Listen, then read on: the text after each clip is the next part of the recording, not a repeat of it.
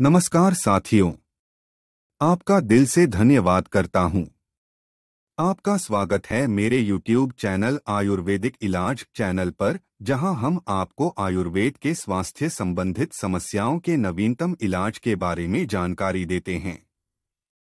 आज हम बात करेंगे। अल्सरेटिव कोलाइटिस का इलाज। अल्सरेटिव कोलाइटिस का इलाज निम्नलिखित तरीकों से किया जा सकता है।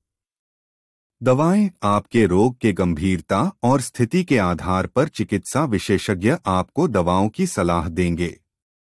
इसमें आंत्र संक्रमण को नियंत्रित करने वाली दवाएँ आंत्र की सूजन को कम करने वाली दवाएँ और रोकथाम करने वाली दवाएँ शामिल हो सकती हैं। ये दवाएँ आपको अपने चिकित्सक द्वारा प्रदेशन की जाएगी।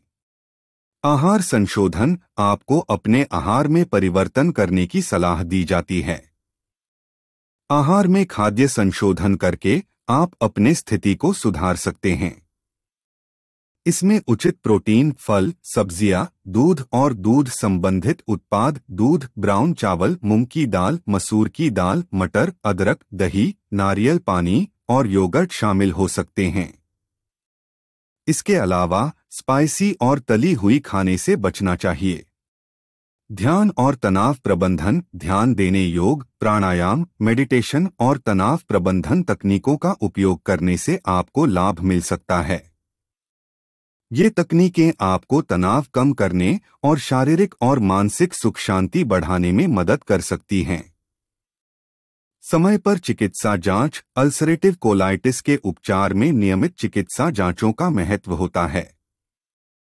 चिकित्सक की सलाह पर आधारित नियमित जाँच कराना ज़रूरी है ताकि वे आपकी स्थिति का मूल्यांकन कर सकें और अपने इलाज में आवश्यक बदलाव कर सकें।